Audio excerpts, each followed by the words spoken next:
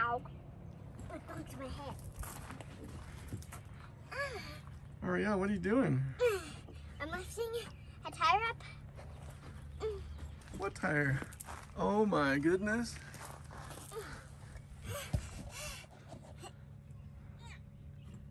So easy a five-year-old can do it.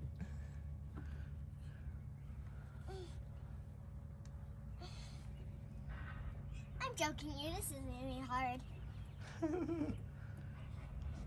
Wow, that tire weighs more than you do.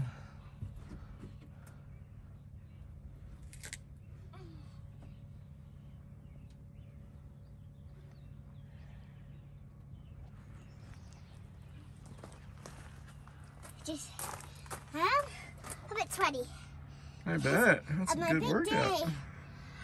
The big day at school. Oh,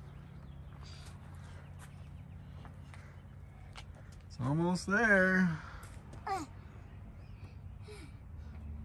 I take a break and see?